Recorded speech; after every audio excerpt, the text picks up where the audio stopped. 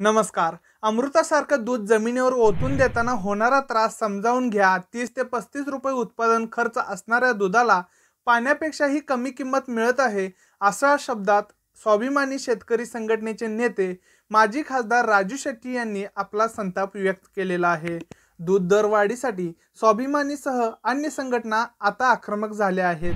राजू शेट्टी यांनी देखील कोल्हापूरमध्ये शंकर भगवानाला दुग्धाभिषेक करत दरवाढ करण्यासाठी सरकारला सुबुद्धी देण्याचं साकडं घातलेलं आहे. शेतकऱ्यांना प्रति लिटर दुधाला तीस ते पस्तीस रुपये उत्पादन खर्च येतो. आज पिण्याच्या पाण्यालाही प्रति लिटर वीस रुपये मिळतात. मात्र दुधाला सतरा ते अठरा रुपये दिले जात आहेत. यामुळे शेतकऱ्यांवर आत्महत्या करण्याची वेळ येत आहे. त्यामुळे अमृतासारखं दूध जमिनीवर ओतून देताना होणारा त्रास लक्षात घ्या. असं कर्जबाजारी होऊन मरण येणार असेल तर सोशल डिस्टन्सिंग कशाला? असा संतप्त सवाल त्यांनी विचारलेला आहे. आमच्या आया बहिणी राब राब राबतात. शेणामतात हात घालून काम करतात. त्या माऊलीच्या भावनांची किंमत नाही का? बाटलीबंद पाण्याला वीस रुपये आणि दुधाला सतरा रुपये मिळतोय.